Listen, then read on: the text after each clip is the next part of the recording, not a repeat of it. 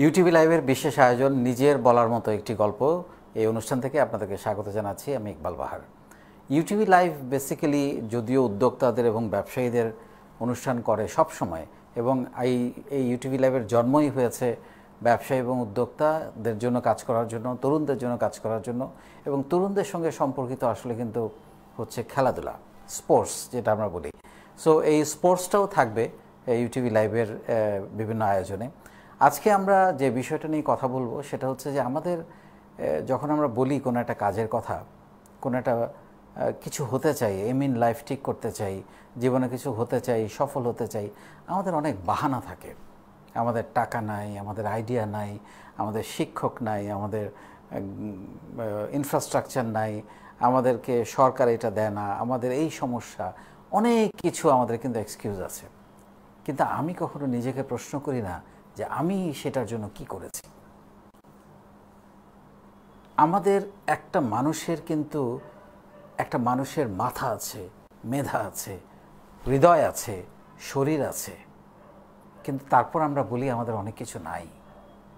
কিন্তু একবার ভাবুন, যেই মানুষটার আপনি আমার মতো স্বাভাবিকভাবে চলাফেরা করতে পারে না, সেই মানুষটা যখন আপনাকে আমাকে ছাড়িয়ে যায়, তখন কি মনে হয় যে আমরা কতটা অসহায়, কতটা অপারগ আমাদের চিন্তাভাবনার, কতটা প্রতিবন্ধী যুক্ত চিন্তাভাবনা। আজকে সেই মানুষগুলোর গল্প আপনাদের শোনাবো, যাদেরকে শরীর হয়তো তাদের কিছু প্রতিবন্ধকতা তৈরি করেছে, কিন্তু তাদের শক্তি, তাদের চিন্তা, তাদের মেধাকে কোনো প্রতিবন্ধকতা তৈরি করতে পারে নাই। একজন স্বাভাবিক মানুষের চাইতে তারা যে কতটা সফল হয়েছেন জীবনে, কতটা দ্যুতি ছড়িয়েছেন, সেই গল্প আমরা আজকে শুনব। আমাদের সাথে আছেন আপনারা, তাদেরকে অনেকেই চেনেন এবং তারা বাংলাদেশে অলরেডি অনেক কাজ করেছেন। আমাদের সাথে আছেন মোহাম্মদ হেদায়েতুল আজিজ মুন্না। মুন্না ভাই নামে খুব বেশি পরিচিত। উনি সভাপতি এবং প্রতিষ্ঠাতা ড্রিম ফর ডিসেবিলিটি ফাউন্ডেশন এবং বাংলাদেশ হুইল চেয়ার ক্রিকেট টিমের যিনি প্রতিষ্ঠাতা হেদায়েত ভাই আপনাকে স্বাগত মুন্না ভাই বলি খুব হ্যাঁ, খুব সহজ হয়। আর সাথে আছেন এমদাদুল খান উনি অধিনায়ক হুইল চেয়ার ক্রিকেট টিম। আপনাদের দুজনকে আমাদের এই অনুষ্ঠানে স্বাগত জানাচ্ছি। আসলে মুন্না ভাই আপনি নিশ্চয়ই আমাদের এই প্রোগ্রামটা ফলো করেন। আমরা এই অনুষ্ঠানের মধ্য দিয়ে আসলে আমাদের সারা বাংলাদেশের চৌষট্টি জেলা এবং বাংলাদেশ বিশ্বের যে পঞ্চাশটি দেশের প্রায় এক লাখেরও বেশি তরুণ তরুণী আছে। তাদেরকে আমরা শুধু স্বপ্ন দেখাই না আমরা তাদেরকে এইটা বোঝানোর চেষ্টা করি, কিছুটা অনুপ্রেরণা দেওয়ার চেষ্টা করি যে তোমরাও পারবে। একটু শুধু শুধু ভাবো, একটু শুধু চিন্তা করো। আপনি নিশ্চয়ই আমাদের কাজকর্ম ফলো করেন এবং যদি বলেন একটু। হ্যাঁ ধন্যবাদ ইকবাল ভাই আমাকে এইখানে আমন্ত্রণ জানানোর জন্য। আসলে আমি দীর্ঘদিন যাবতই আপনার কার্যক্রম ফলো করি। আর আপনার এই ইউটিউব চ্যানেলের মাধ্যমে যে লাইভ প্রোগ্রামটা হয় এখানে বাংলাদেশের বিভিন্ন উদ্যোক্তারা আসে তাদের সঙ্গে আপনার কথোপকথন। আমি খুব ইন্সপায়ার্ড হই আপনার কাছ থেকে, আমি অনেক কিছু শিখি। যে আসলে আপনি কীভাবে তৃণমূলের মানুষদেরকে, খুব দূর দূরান্তের গরিব মানুষদেরকে কীভাবে আপনি একটা মানে ভালো সোসাইটিতে তুলে নিয়ে যাবেন এই ধরনের আসলে ভালো মেন্টালিটির মানুষদের জন্য সব সময় আমাদের স্যালুট আমরা আপনাকে নিয়ে আসলে প্রাউড ফিল করি। আম, আসলে আমাদের কথা যদি আপনাকে আমি আপনার গল্প শুনব অ্যাকচুয়ালি আমাদের অনুষ্ঠানের নাম হচ্ছে নিজের বলার মতো গল্প। আপনার গল্পটাই আমরা আজকে শুনব। তার আগে আমি একটু আমাদের দর্শকদের বলতে চাই আপনি একটু লিখবেন কে কোন জেলা থেকে এই মুহূর্তে আমাদেরকে দেখছেন এবং কে কোন দেশ থেকে দেখছেন। আপনারা নিশ্চয়ই আজকে যে গল্পটা আমাদের জন্য অপেক্ষা করছে এই গল্প আপনাদের মনে অনেক দাগ কাটবে আমি কোনো কোনো সন্দেহ নেই। আমি মুন্না ভাই শুরুতে আপনার কাছ থেকে যেটা শুনতে চাই আপনার এই যে শারীরিক যে অবস্থাটা তৈরি হলো এটা কত সালের ঘটনা এবং কি হয়েছিল? দু হাজার নয় সালে আমার এক সড়ক দুর্ঘটনায় আমি স্পাইনাল কোড ইনজুর কোথায় হয়েছিল এটা সৌদি আরবে হয়েছিল। আপনি সৌদি আরবে থাকতেন? সৌদি আরবে থাকতাম আমি। তখন আসলে এই কার অ্যাক্সিডেন্টে আমার স্পাইনাল কোড ইনজুর হয়। স্পাইনাল কোড ইনজুর হওয়ার পরে আমি গুরুতর আহত হই। সৌদি আরবে আপনি কাজ করতেই কাজ গিয়েছিলেন? করতে গিয়ে তখন আপনার বয়স কত ছিল? আমার বয়স তখন পঁচিশ পঁচিশ ছাব্বিশ। আপনি তখনও বিয়ে করেন নাই? না তখন আমি বিয়ে করি নাই। তখন আসলে আমি খুব গুরুতর অবস্থায় আমাকে আইসিইউতে রাখা হয়েছিল চব্বিশ দিন। তখন আমি প্রায় মৃত্যু সৌদি আরবের? আইসিইউতে? প্রায় মৃত্যু সজ্জায় ছিলাম আমি আমার হিমোগ্লোবিন পয়েন্ট থ্রি তে নাইমে আসছিল তখন আহ, পারিবারিক সিদ্ধান্ত আমার বাবা বিদেশে কথা বলে ওনাদের ওইখানে আমার চাচা ছিল আমার বিভিন্ন লোক ছিল ওদের সঙ্গে কথা বলে আমাকে বাংলাদেশে নিয়ে আসা হয়। কারণ ওইখানে খুব আমি ভালো কোনো প্রপার ট্রিটমেন্ট পাইনি আর ওনারাও বুঝতে পারে না আসলে আমার কি হয়েছিল। আমি নিজেও জানতাম না। তারপর বাংলাদেশে আসার পরে আমি একটি প্রাইভেট ক্লিনিকে ভর্তি হই। প্রাইভেট ক্লিনিকে ভর্তি হওয়ার পরে ওইখানেও আমার প্রায় এক মাস আইসিইউতে নিবিড় পর্যবেক্ষণে রাখা হয়। আমার পেছনে প্রেশার শোর হয়ে গেছিল, বিভিন্ন অঙ্গ প্রত্যঙ্গ বিভিন্ন জায়গায় কাটাকাটি হয়ে গেছিল। মাথার ভিতরে আমার প্রায় চুয়াত্তরটা শিলি আছে, বুঝছেন? বিভিন্ন জায়গায় আমার কেটে গেছিল। ওইখান থেকে আসলে আমাকে বলা হয়েছিল যে, আমি আসলে আর কোনোদিন হাঁটতে পারব না। কারণ আমার যেহেতু স্পাইনাল কোড ইনজুর হয়েছে, আমি আর হাঁটতে পারব না। আমাকে পুনর্বাসনের জন্য সাবার সিআরপিতে পাঠানো হয়। প্রফেসর ওমর ফারুক, উনি আমাকে সিআরপিতে পাঠায়। সিআরপিতে আমি গিয়ে ভর্তি হলাম ওইখানে প্রেশার শোর নিয়ে গেলাম। শোর ভালো হইতে হইতে আমার প্রেশার শোর ভালো হইতে হইতে আমার প্রায় সাত মাস সময় লেগে গেল। সাত মাস পরে যেহেতু আপনি জানেন যে স্পাইনাল কোড ইনজুর যেখান থেকে হয় সেখানে নিচের অংশে পুরা আপনার প্যারালাইজড হয়ে যায় এখানে সেন্সেশন থাকে না। তো ওইটার জন্য আপনারা জানেন আমাদের এশীয় উপমহাদেশে না সারা ওয়ার্ল্ডের ভিতর দ্বিতীয় হচ্ছে সিআরপি হ্যাঁ। সিআরপিতে আমি পুনর্বাসিত হই। পুনর্বাসিত হওয়ার পরে যখন আস্তে আস্তে আমার গাটা সারে তারপর আমাকে বসাতে শিখে কীভাবে হুইল চেয়ার থেকে। মানে একটা নতুন জীবন।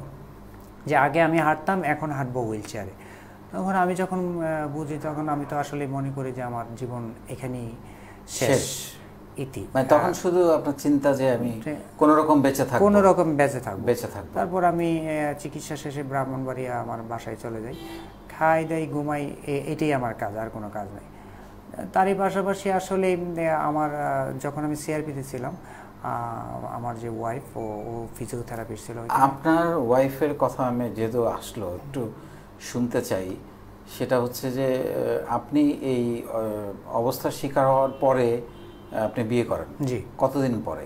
অবস্থা শিকার হওয়ার প্রায় দুই বছর পরে। দুই বছর পরে আপনি বিয়ে করেন এবং উনি একজন সুস্থ মানুষ। হ্যাঁ। মার্শাল্লাহ উনি কি করেন? ফিজিওথেরাপিস্ট ছিল। ফিজিও উনি আপনার হ্যাঁ ফিজিওথেরাপিস্ট আমার ছিল। ফিজিওথেরাপিস্ট ছিল।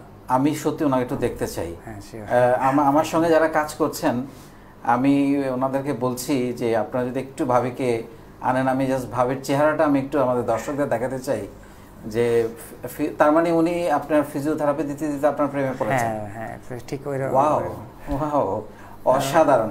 আমি একটু ভাবির চেহারাটা দর্শকদের দেখাতে চাই।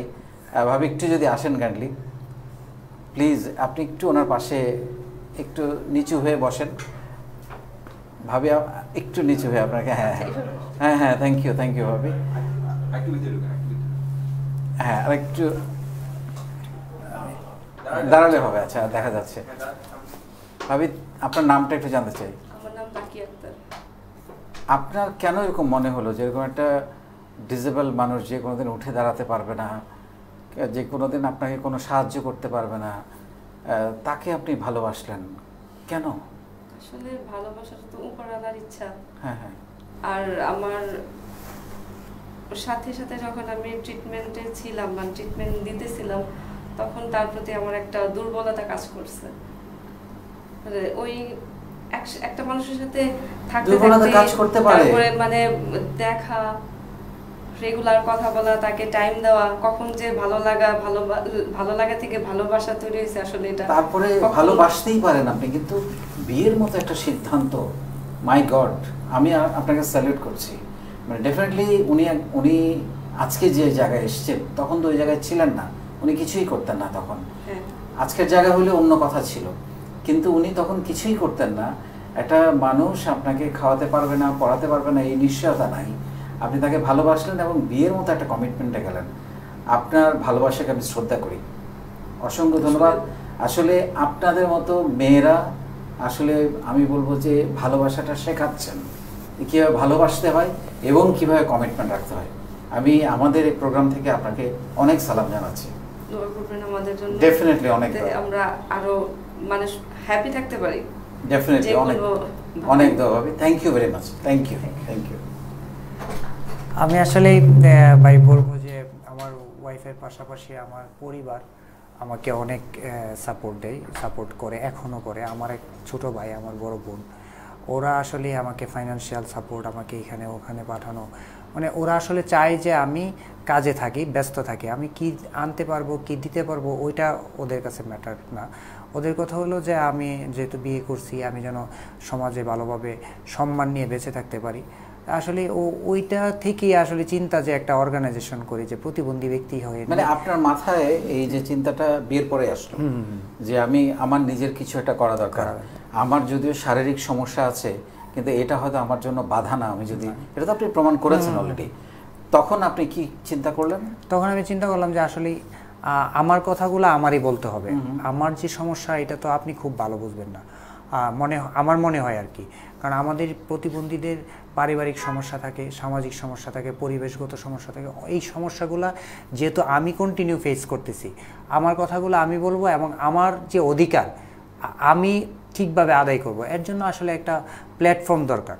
আমি তখন আমার এক ফ্রেন্ড হাবিব মোল্লা এবং আরেকজন ইউকেতে থাকে, চল্লিশ বছর যাবত উনি প্যারালাইজড অবস্থায় আছে। ওনাকে নিয়ে আমরা তিনজন স্কাইপে মিটিং করে আমরা বাংলাদেশে একটা স্টার্ট করলাম ড্রিম ফর ডিসেবিলিটি ফাউন্ডেশন নামে একটি সংগঠন, প্রতিবন্ধী ব্যক্তিদের দ্বারা পরিচালিত সংগঠন। এখানে আসলে সমাজে বিভিন্ন শ্রেণির প্রতিবন্ধীদেরকে আমরা ইনক্লুড করি এবং আমরা প্রতিবন্ধী ব্যক্তিদেরকে মূল স্রোত দ্বারা নিয়ে আসার জন্য আমরা কাজ শুরু করি। আমাদের কথা হলো কি যে আমরা ভিক্ষাবৃত্তি করব না। আমরা বড় বড় মানুষদের কাছে যাব, আমাদের যোগ্যতা অনুযায়ী আমরা আমাদের কর্মসংস্থান চাইব, আমরা কাজ চাইব। কিন্তু আমরা এই জায়গাটাই থেকে বিরত থাকব যে আমরা গেলেই, কে- আসলেই বাংলাদেশে তো একটা রীতি আছে যে আপনার কাছে আসলাম, আপনি মনে মনে হয় ভাবতেছেন যে ও আসছে আচ্ছা পাঁচ হাজার টাকা দিয়ে দিই কিংবা একটা হুইল চেয়ার দিয়ে দিন না, এইগুলা দিয়ে আসলেই জীবন চলে না। জীবন চলতে হয় কাজ দিয়ে কাজের কাজ এবং সম্মানের মাধ্যমে জীবন চালাতে হয়। ওইটার কারণে আমি আসলে এই সমাজের মানে আপনার শারীরিক যে প্রতিবন্ধকতা এটা যে আপনাকে পঙ্গু করতে পারে নাই আপনার কথা দিয়ে বোঝা যাচ্ছে যে আমি I hats off to you আপনি যে ভাবছেন যে একটা মানুষকে পরিবর্তন করতে হয় তার কাজ দিয়ে সাহায্য দিয়ে না এইটাই তো হচ্ছে আসল শক্তি একটা মানুষের। সেটাই। জি। তারপর আসলে আমি শুরু করি ব্রাহ্মণবাড়িয়ার তে যখন কাজ শুরু করি ব্রাহ্মণবাড়িয়া পুলিশ সুপার সাবেক পুলিশ সুপার জনাব মিজানুর রহমান পিপিএমবার ওনার একটা বাচ্চা শারীরিকভাবে প্রতিবন্ধক। উনি আমাকে নিয়ে বেশ কিছু ইভেন্ট ক্রিয়েট করে আর কি অ্যাওয়ারনেস ইভেন্ট পাশাপাশি আমাদের ব্রাহ্মণবাড়িয়ার যিনি জনপ্রতিনিধি জনাব রহম ওবায়দুল মুক্তাদি চৌধুরী আমাদের প্রধান পৃষ্ঠপোষক এমপি মহোদয় আমাদেরকে এসে পাশে দাঁড়ায়। আমাদের জেলা প্রশাসন তৎকালীন জেলা প্রশাসন এবং বর্তমান জেলা প্রশাসন সবাই মিলে মানে একেবারেই একটা মনে করেন আমি বা ব্রাহ্মণবাড়িয়াতে জেলা প্রশাসন জেলা পুলিশ মাননীয় এমপি মহোদয় মেয়র মহোদয় রাজনীতি সমাজনীতি সংস্কৃতি সকলকে একটা একটা মোটামুটি একটা একটা প্ল্যাটফর্মে নিয়ে আসা। সাংবাদিক হ্যাঁ আমি এগিয়ে আসার পাশাপাশি আমার পাশে আরও অনেক প্রতিবন্ধী আমাকে আমি সেই গল্প শুনব। আপনার কাছে স্পেশালি আমাদের ব্রাহ্মণবাড়িয়ার যে সাংবাদিক মহল তারাও খুব সাপোর্ট করে কোনো সন্দেহ নাই। এবং আপনার প্রচুর ফিচার প্রচুর খবর আমরা সংবাদপত্রে দেখেছি। ওনার কাছে যাওয়ার আগে একটু জানতে চাই ক্রিকেটের বুদ্ধিটা মাথায় আসলো কেন? ক্রিকেটের বুদ্ধি আসলে আমরা প্রথমে একটা ফিজিক্যাল চ্যালেঞ্জ ক্রিকেট টিম করি।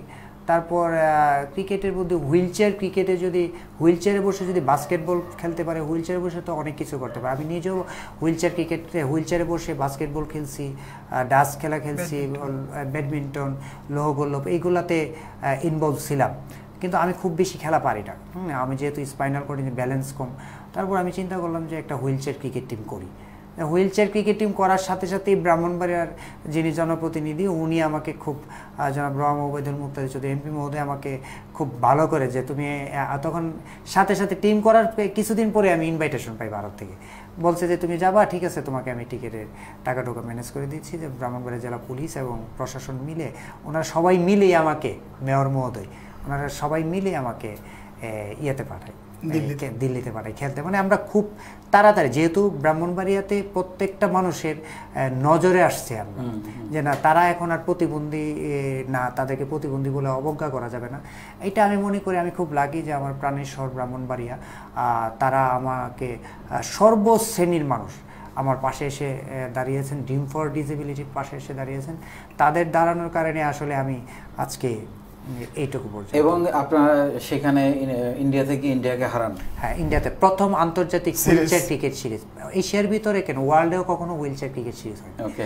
তখন আমরা এপ্রিল মাস দুই হাজার সতেরো এপ্রিলের চোদ্দ তারিখ আমরা হুইলচেয়ার ক্রিকেটে পয়লা বৈশাখে। এটা আসলেই আহ, বাংলাদেশ আমরা যখন ভারতে যাই তখন আমরা বাংলাদেশে বাংলাদেশে আপনি জানেন যে এখন পর্যন্ত বাংলাদেশে হুইলচেয়ার কোনো ন্যাশনাল ক্রিকেট টিম নাই। হ্যাঁ দুইটা অর্গানাইজেশন আছে একটা ড্রিম ফর ডিসেবিলিটি ফাউন্ডেশন একটা অর্গানাইজেশন তারা বাংলাদেশে বিভিন্ন জায়গা থেকে প্লেয়ার নিয়ে আসে। আর একটা হচ্ছে টঙ্গিতে একটা অর্গানাইজেশন আছে এটা হুইলচেয়ার ক্রিকেট ওয়েলফেয়ার অ্যাসোসিয়েশন তারাও একটা একটা টিম চালায় তারাও ইন্টারন্যাশনাল ম্যাচ খেলে আমরা ইন্টারন্যাশনাল তবে আমাদের আসলে এখন একটা প্রাণের দাবি হচ্ছে যে আজকের লাইভে যদি বিসিবি বা বাংলাদেশ সরকারের ঊর্ধ্বতন সবাই দেখে। বিসিবিতে আমার একটা আকুল আবেদন যে আসুন আপনারা একটা আমাদের এই দুইটা টিম আরও বাংলাদেশের টিম হচ্ছে হুইলচেয়ার ক্রিকেট টিম সবাইকে নিয়ে হ্যাঁ একটা ট্যালেন্ট হান্টের মাধ্যমে বা একটা টুর্নামেন্টের মাধ্যমে আমাদের প্লেয়ারদেরকে নিয়ে একটা জাতীয় টিম করেন। তাহলে হয়তো বা সাকিব তামিমদের মতো খুব এত বড় কিছু না হইতে পারল তাদের অনুসারী হিসেবে তাদের পথ ধরে তারাও কিছু এই দেশকে উপহার ডেফিনেটলি আমি তার কাছে যেতে চাই ইমরান সাহেব আপনি হচ্ছেন এই টিমের অধিনায়ক। তাই না ক্যাপ্টেন জি। আপনি কি ওই ওই দলে ছিলেন যে যখন ইন্ডিয়াকে হারিয়েছেন। তখন আপনি ওই দলে ছিলেন। তখন কি ক্যাপ্টেন ছিলেন? না আমি ক্যাপ্টেন ছিলাম না। তখন আপনি একজন খেলোয়াড় ছিলেন। খেলোয়াড় ছিলাম। ক্যাপ্টেন হলেন কবে? ক্যাপ্টেন দু হাজার আঠেরো সালে ইন্ডিয়া যখন বাংলাদেশে আমরা আমন্ত্রণ জানাই তখন আমার যে চেয়ারম্যান উনি ক্যাপ্টেন ইয়ে করে আচ্ছা আমি আপনি যদিও চেয়ারে বসে আছেন বাট আপনিও ফিজিক্যালি আপনার কিছু ঝামেলা আছে। আমি যেটা শুনেছি যে আপনার পোলিও হয়েছিল। ছোটবেলায়। তারপর থেকে আপনার পা আপনি স্বাভাবিকভাবে হাঁটতে পারেন না।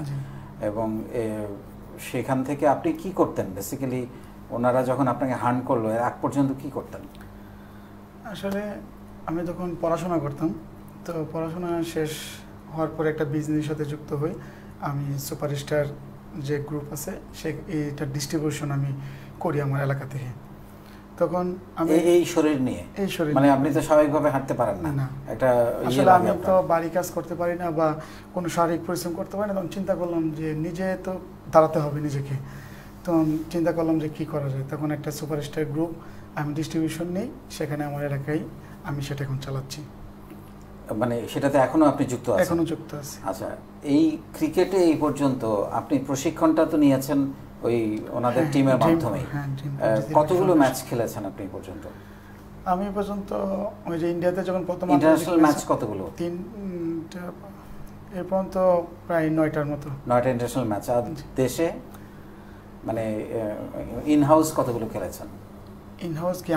মানে আন্তর্জাতিক? মানে। লোকাল ম্যাচ হ্যাঁ, তো ম্যাচ আমাদের খেলতে হ্যাঁ, খেলতেই হয়। অনেক ম্যাচ খেলতে হয়। এখানে আমাদের ষোলো ডিসেম্বর আছে।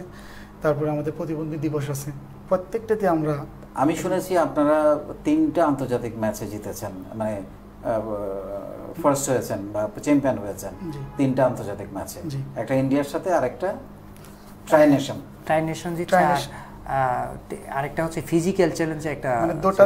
মানে দুইটা টিম আমাদের টিম হচ্ছে দুইটা। দুইটা। আচ্ছা একটা আচ্ছা হচ্ছে physical challenge DDF physical challenge cricket team আরেকটা হচ্ছে DDF wheelchair cricket team Bangladesh okay মানে দুইটা দুই দুই হুইলচেয়ার। ক্রিকেট যেটা সেটা দুইবার আমরা চ্যাম্পিয়ন হয়েছি আর একটা রানার্স আপ আর ফিজিক্যাল চ্যালেঞ্জ সেটা একবার চ্যাম্পিয়ন হয়েছি ইন্ডিয়াতে আপনি কি ব্যাটসম্যান না বোলার আমি ব্যাটসম্যান উইকেট কিপার ও উইকেট কিপার আচ্ছা।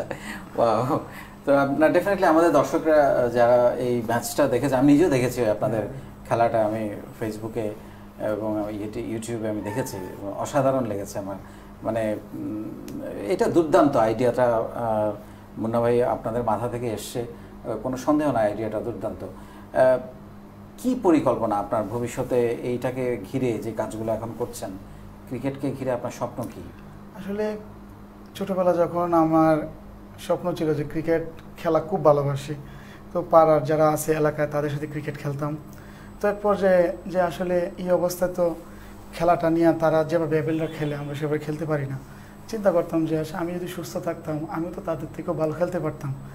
সেই পর্যায়ে আস্তে আস্তে আস্তে আস্তে এরকম খেলতে আসছি। প্রথম দু হাজার পনেরো সাল তখন আমার এই যে কাজী শফিকুল ইসলাম হ্যাঁ ডিগ্রি ইয়ে, বিশ্ববিদ্যালয় এখান থেকে একটা ফোন আসে যে আমাকে, যে আমি যে কলেজের একজন যে শারীরিক প্রতিবন্ধী হিসাবে এই যে ব্রাহ্মণবাড়িয়া থেকে মুন্না ভাই এই ফোন দিছে। তো আমি মুন্না ভাই কন্ট্যাক্ট নাম্বার দিয়ে ওনাকে আমি ফোন দিই।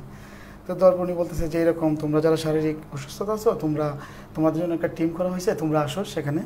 তো আমরা গেলাম, সেখানে দেখলাম বাংলাদেশের সব জায়গা থেকেই যে চট্টগ্রাম, ঢাকা, বরিশাল, খুলনা, কুমিল্লা, সিলেট, সব জায়গা থেকে প্লেয়াররা আসছে এখানে ট্রেনিং দেওয়া হইতেছে। সেখান থেকে আমার শুরু। যে তাহলে দেখি খেলাটাকে কতটুকু এগিয়ে নিতে পারি। হোক, আমি ডিজিবল। ডিজিবল হয়েও যদি আমি দেশের জন্য একটা কিছু করতে পারি। এবং ডেফিনেটলি আপনারা দেশের জন্য সম্মান এনেছেন। এটা নিয়ে আমরা ব্যাপক নিউজ কাভারেজ দেখেছি। তখন অনেক মিডিয়াতে আলাপ আলোচনা হয়েছে আপনারা যখন এই ধরনের একটা পুরস্কার জিতে আসছেন। আমি একটু মুন্নাভার কাছে আসতে চাই। এই ক্রিকেট নিয়ে আপনার ভবিষ্যৎ পরিকল্পনা কি? ক্রিকেট নিয়ে আসলে ভবিষ্যৎ পরিকল্পনা হলো কি ক্রিকেটটা কেন আমি বেশি চুজ করি এটার একটা কারণ আছে। কারণ হচ্ছে কি বাংলাদেশে এবং ওয়ার্ল্ডে ক্রিকেট হচ্ছে একটা জনপ্রিয় খেলা। ক্রিকেটটা ভারত পাকিস্তানের খেলা পাকিস্তানের খেলা চলতেছে। হয়। কিছু এখন পরিস্থিতি জানি না বাট দেখলাম শেষ পর্যন্ত আসলে তিনশোর উপরে ক্রিকেটটা নিয়ে পরিকল্পনা থেকে ক্রিকেট কত দূর আগাবে, কতটুকু কি, কি- করবে, আমি মনে করি এইগুলা বাংলাদেশ ক্রিকেট বোর্ড ওনারা নির্ধারণ করবে। আমরা একটা যাত্রা শুরু করছি, শুভ সূচনা শুরু করছি। এই সূচনা অনেক দূর যাবে।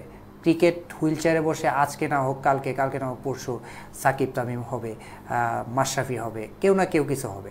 কিন্তু এর ভিতরে যে সময়গুলা, এগুলার মাধ্যমে যে ক্রিকেট খেলতেছি একটা সচেতনতা বৃদ্ধি হোক মানুষের ভিতরে দৃষ্টিভঙ্গি পরিবর্তন হোক। আপনি জানেন যে নিশ্চয়ই দৃষ্টিভঙ্গি পরিবর্তন ছাড়া এই সমাজে প্রতিবন্ধী ব্যক্তিদের ডেভেলপমেন্ট কোনো অবস্থাতেই সম্ভব না।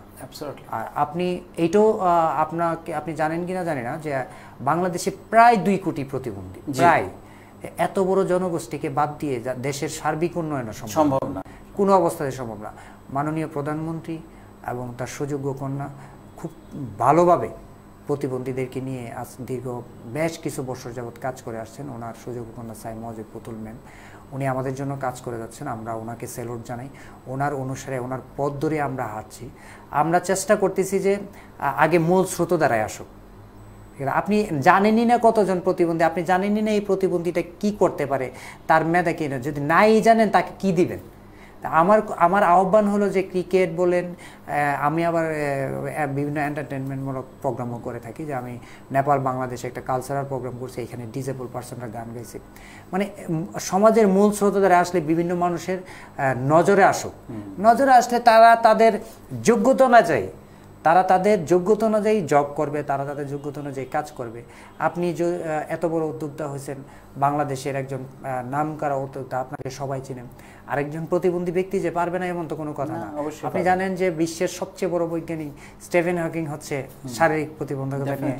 এরপরে মোটিভেশনাল স্পিকার আমি আপনি নিজেও একজন মোটিভেশনাল স্পিকার বাংলাদেশের বিভিন্ন জায়গায় আপনাকে আমরা দেখে থাকি। আমি আপনার অনেক কথাও শুনি। নেক নামে একজন আছে। ওর কথাও যদি যার দুইটা হাত নাই দুটা পাই নাই। হুম তা আসলে সব সব কথার বড় কথা হলো যে আমাদের আসলে বেঁচে থাকতে হলে আমাদের সম্মান নিয়ে বেঁচে থাকতে আমাদের কাজ করতে হবে। ভিক্ষা দীক্ষা থেকে বেরিয়ে আসতে হবে। এবং আপনি যেটা বলেন যে আমি জবাব দিতে চাই কাজ কাজের মাধ্যমে। কাজকে কাজের ছাড়া জবাব দেওয়ার তো আর কোনো উপায় নেই। আমি যদি কাজ করি আপনি কাজ করতেছেন আমি কাজ করতেছি আমি কাজ ভালো করলেই তো আমি সমাজে থাকব। আমি ভালো কাজ না করলে হারিয়ে যাব এটাই তো খুব স্বাভাবিক। ঠিক আছে না? আপনার যে সংগঠন ড্রিম একদম সংগঠনের শুরুতেই যে নামটা দিয়েছেন ড্রিম ফর ডিসেবিলিটি ফাউন্ডেশন এইটার আর কি কি এর বাইরে আর কি কি স্বপ্ন এর- এখানে স্বপ্ন দেখেই স্বপ্ন দেখে অলরেডি বাস্তবায়নের পথে ব্রাহ্মণবাড়িয়া যিনি পৌর মেয়র মিসেস নায়র কবির উনি আমাকে একটা ওনার স্কুলে তিনটা রুম দিছে। ওনার বাসায় একটা অফিস দিছে ফ্রি দেওয়ার পর আমি চিন্তা করলাম যে এটাতে কি করা যায়? তারপর মা- মাননীয় পুলিশের আইজি যে ওনার ওয়াইফের বাড়ি ব্রাহ্মণবাড়িয়া শহীদুল হক তৎকালীন ছিলেন। স্যার গিয়েছিলেন স্যারে গিয়ে সে দেখছে খালি রুম স্যার বলছে "আচ্ছা, ঠিক আছে আমি তোমাকে এখানে অফিসটা টেবিল চেয়ার দিয়ে সাজিয়ে দিতেছি। আরেকজন ফেসবুক ফ্রেন্ড আমার। হ্যাঁ ও গিয়ে সে আমাকে একজন মহিলা উনি গিয়ে সেটা কম্পিউটার কিনে দিছে। এই তখন আমি চিন্তা করলাম যেহেতু মেয়র মহোদয় আমাকে এটা দিছে মিসেস নায়ের কবির ইনক্লুসিভনেস একটা ট্রেনিং সেন্টার করলাম। যদিও ওইটাকে আমার ইচ্ছে যে ভবিষ্যতে মানে আপনি এখন একটা ট্রেনিং সেন্টার অলরেডি স্টার্ট না মানে সাজানো আছে। সাজানো হয়েছে, একবার স্টার্ট করছি একবার বন্ধ হয়েছে আবার স্টার্টের জন্য আগামী মাসের এক তারিখ থেকে ব্রাহ্মণবাড়িয়া জেলা পুলিশের সহযোগিতায় শুরু করার একটা প্ল্যান করছি। কারণ আপনি জানেন আমাদের অনেক প্রতিবন্ধকতা আছে আমাদের ফাইনাল মানে ফান্ডিংয়ের প্রবলেম আছে। তা আমি তো ওই জায়গায় খুব কম যাই। আমার আমার কথা হলো যে উদ্যোক্তা আমি তৈরি করব। এখন আমার চিন্তা যে আপনার কাছ থেকে আমি শিখলাম যে জিনিসটা শিখছি, যে ট্রেনিং সেন্টারটার উপর আমি জোর দিয়েছি যে ট্রেনিং সেন্টারটাতে আমি একজন ইনস্ট্রাক্টর নিয়েছি পুলিশ থেকে। ওনাকে বলছি যে আমাকে এখানে ফ্রিল্যান্সারের কাজ শিখে দেবো ফাইবারে কীভাবে কাজ করতে হয়, কীভাবে অনলাইনে কাজ করতে হয়, যতটুকুই পারি। এখানে প্রতিবন্ধী এবং অপ্রতিবন্ধী ব্যক্তিদের একটা সমন্বয় করে যদি আমি ছয় মাসে দশজন লোক বের করতে পারি। দশজন। ধরেন আমি অনেক বেশি বের করতে পারি পাঁচজন লোক বের করি। এই পাঁচজন আবার আরও আরেকটা ছয় মাস ট্রেনিং কারণ এখানে তো সব ফ্রি ঠিক আছে? ছয় মাসে যদি এক বছরে যদি আমরা দশজন লোক বের করতে এটাও তো একটা ছোট্ট একটা কর্পোরেট হইতে পারে। হতে পারে না? এই দশজন যদি একটা দুইটা রুমে বসে কম্পিউটারে কাজ করে সেটা প্রতিজনে যদি বিশ হাজার টাকা করে ইনকাম করে মন্দ কি? তাই না? ওই ওই দশজন থেকে তো আরও দশজন হতে পারে আরও দশজন থেকে আরও দশজন এইভাবে বাট মানে একদিনে তো আর সব হবে না। তো আমার প্ল্যানটা হলো এটা যে এটা কিন্তু আমি আপনার কাছ থেকে পুরো আইডিয়াটা যে মানে যে আমি শুরু করি শুরু করে শুরু করে। আমি আপনার মতো মানে হাজার হাজার মানুষ ইনভলভ করতে পারব না। না না তবে আমি আমার দশজন ইনভলভ খুবই ভালো লাগছে যে আপনি আমি নিজেও জানি না আপনি ভেতরে ভেতরে আমাকে ফলো করেন।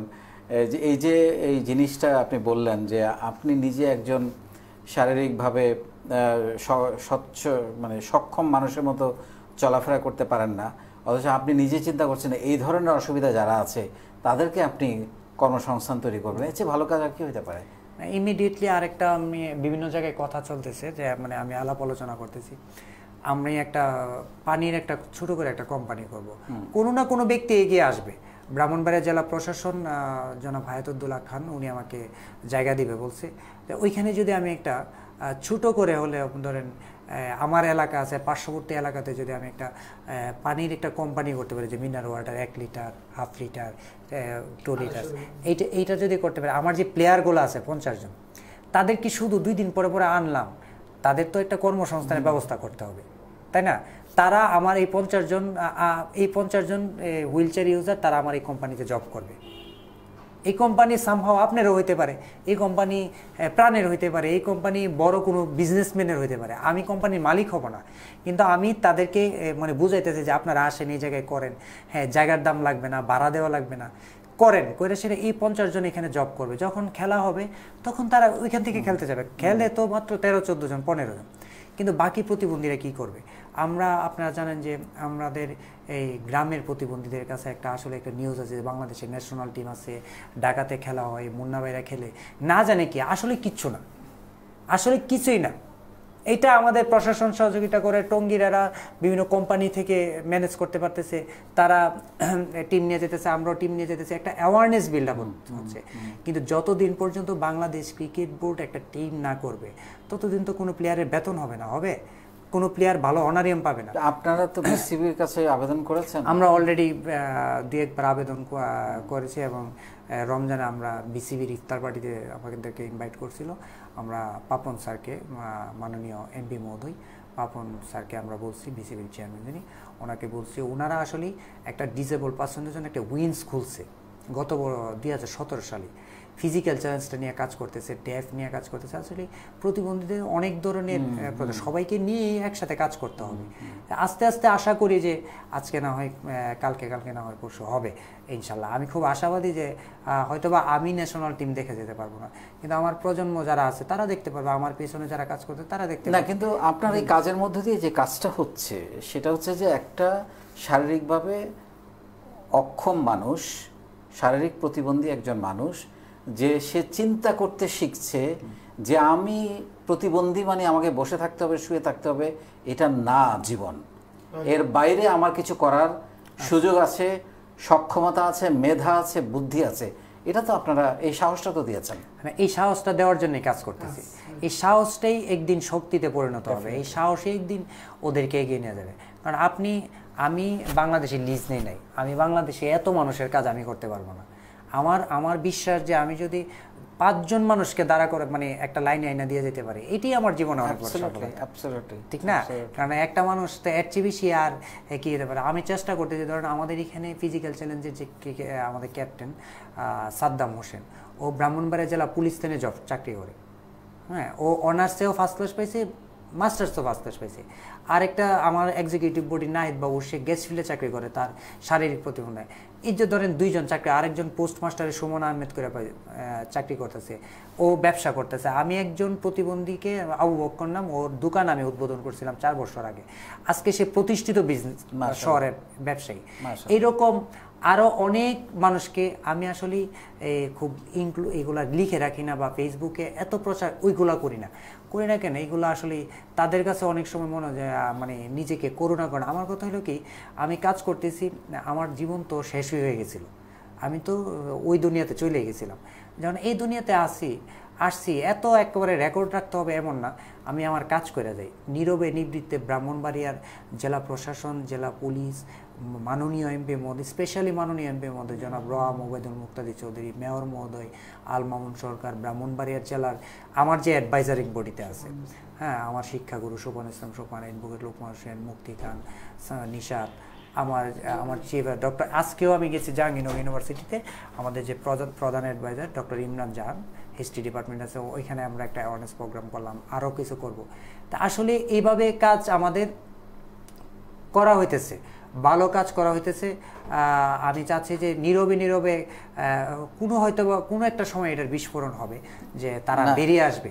খুব ভালো বিস্ফোরণ বিস্ফোরণটা হবে ভালো বিস্ফোরণ। আমি চাই যে আগে মূল স্রোত দ্বারাই আসুক। ডেফিনেটলি তোমরা সবাই আগে একটা প্ল্যাটফর্মে আসো জানো তুমি কি করতে পারবা।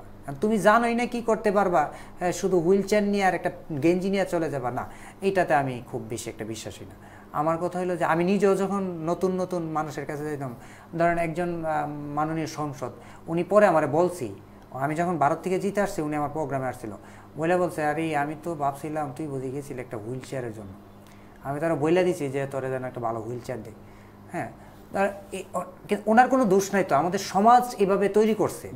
কি করবে এইটার ভেতরে যে শক্তি আছে সেটাকে দেখা এইটার কিন্তু পরিবর্তন এখন আমি একদম আমাদের আমার খুবই ভালো লাগছিল আপনার কথা শুনতে এবং আমার মনে হয় আরও অনেকক্ষণ শোনা যেত ওনার কথাও শোনা যেত।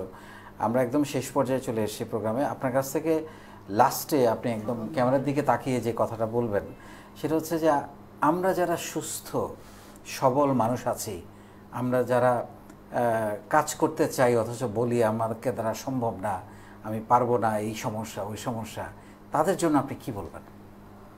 আমি সবার জন্য একটা কথা হয়েছে কি আমরা যারা কাজ করি, আমরা সবাই তরুণ।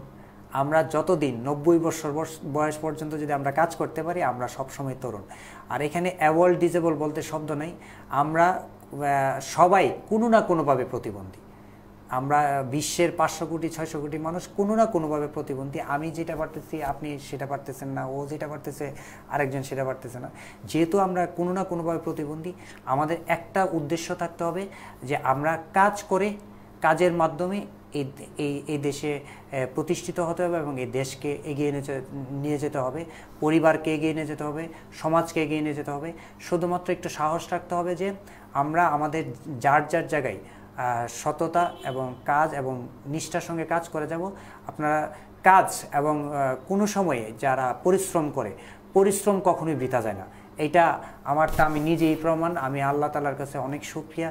মানে আল্লাহ তালা পরিশ্রম কখনই কারোর সাথে বেমানি করে না। কোনো না কোনোভাবে পেয়ে যাবেন, কাজ করতে থাকেন। সবাই আমার আমার বিশ্বাস যে একদিন যার যার লক্ষ্যে পৌঁছাবেন যার যার যোগ্যতা অনুযায়ী। অ্যাবসলিটলি মুন্না ভাই আপনাকে অসংখ্য ধন্যবাদ। আমাদের প্রোগ্রামে আসার জন্য। থ্যাংক ইউ আপনাকে ধন্যবাদ। আমাকে আমন্ত্রণ জানার জন্য। আমি আসলে অনেক কৃতজ্ঞ মানে স্পেশালি আপনার কাছে যে আমি এখানে এসে বৈশা দুইটা কথা বলতে পারছি। আমার খুব ভালো লাগছে এবং আমার ইচ্ছে যে বাংলাদেশ মানে এভাবে আপনারা আরও বাংলাদেশে অনেকে কাজ করতেছে তাদেরকে অবশ্যই, অবশ্যই, নিয়ে আসব। হ্যাঁ। এইভাবেই শুনতে শুনতে আসলে আমরা আমাদের আজকে এই লাইভের মাধ্যমে যদি কোনো একজন মানুষ এগিয়ে আসে কোনো একজন বিত্তবান মানুষ এগিয়ে এসে যদি বলে যে না তোমার এই প্ল্যানটাকে বাস্তবায়ন করব এটা তো আপনারও সফলতা অ্যাবসলিউটলি এবং আমরা? আহ, প্রায় এই ইউটিভি লাইভ যখন করি তখনই আমরা আরও প্রায় পাঁচ ছয় মাস আগে একটা ঘোষণা দিয়েছি যে গ্রামের একেবারে প্রান্তিক যে ছেলে বা মেয়েটা কিছু একটা করে করেছে তাকে আমরা এখানে নিয়ে আসব। শিওর আমরা শহরকে তো অনেক দেখিয়েছি। হ্যাঁ। এবার আমরা গ্রামে যেতে চাই। এইটা এইটা একেবারে এইটার জন্য আপনাকে আমার সেলুন যে তৃণমূলে মানে একেবারে ওই জিনিসটা চিন্তা করতেছেন। এটাই তো হওয়া উচিত। আপনি ইকবাল ভাই বিভিন্ন প্রোগ্রামে যাচ্ছেন। হ্যাঁ আর আপনি তো যাইতে পারবেনই। আপনি দুইটা ফোন দিলে পাঁচটা প্রোগ্রামে যেতে পারবেন। কিন্তু যা পারে না যারা ওদের খোঁজ কেন? ওদেরকে নিয়ে আসেন। হ্যাঁ আপনার মতো এরকম পঞ্চাশ জন এই প্রজন্মকে দিয়ে যান উপহার তাহলেই তো এই দেশে গিয়ে যাবে। ইনশাল্লাহ, তাই না? আমরা চাই যে আপনার মতো এবং আপনাদের মতো আমরাও সমাজে প্রত্যেকটা জায়গায়. বিচরণ করতে আপনাদের দোয়া চাই। দেশবাসীর দোয়া চাই ব্রাহ্মণবাড়িয়াবাসীর দোয়া চাই। থ্যাংক ইউ থ্যাংক ইউ সাহেব আপনাকে অসংখ্য ধন্যবাদ। ধন্যবাদ। জি জি। আসসালামু আলাইকুম। দর্শক যে কথাটা বলে শেষ করতে চাই আসলে আমার শেষ করতে ইচ্ছে করছে না। এর চেয়ে বড় অনুপ্রেরণা আমার মনে হয় আমি এখন পর্যন্ত দিতে পারি নাই বা আমি নিতে পারি নাই। আমি দারুণভাবে অনুপ্রাণিত আজকে। সত্যিকার অর্থে আমরা যারা মনে করি আমরা যারা বলি আমরা যারা চিন্তা করি যে আমি কি পারব আপনি একবার ভাবেন ওনারা পারলেন কীভাবে? মানসিক শক্তি যে সব কিছুকে ছাড়িয়ে যেতে পারে, শরীরকে ছাড়িয়ে যেতে পারে, মনকে ছাড়িয়ে যেতে পারে, এর চেয়ে বড় উদাহরণ আর কি হতে পারে? তিনটা ইন্টারন্যাশনাল ক্রিকেট ম্যাচ ওনারা জিতেছে বাংলাদেশের হয়ে। ক্রিকেট শিখেছে প্র্যাকটিস করেছে হুইল চেয়ারে বসে তারপর অন্য দেশকে হারিয়েছে, ভারতের মতো দেশকে হারিয়েছে। তারপরে আজকে এখানে ওনারা এই জায়গায় এসছে এবং শুধু তাই না, সমাজের অনেক রকমের কাজ করছে। অন্যদের নিজেরা তো এই জায়গায় এসছেন মুন্না ভাই এবং এখন অন্য যারা প্রতিবন্ধী আছেন, তাদেরকে কীভাবে সমাজে প্রতিষ্ঠিত করা যায় সে চেষ্টা করছেন। এর চেয়ে চমৎকার উদাহরণ, এর চেয়ে চমৎকার অনুপ্রেরণা আর কিছুই হতে পারে না। চিন্তা করা শুরু করেন। অনেক ধন্যবাদ।